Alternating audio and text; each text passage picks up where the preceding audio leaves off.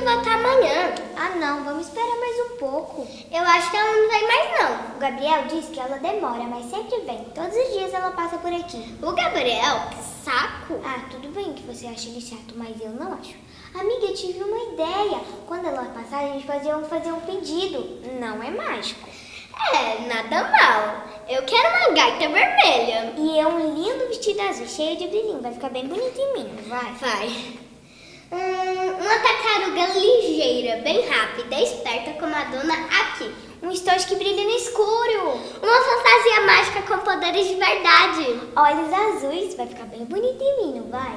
Vai.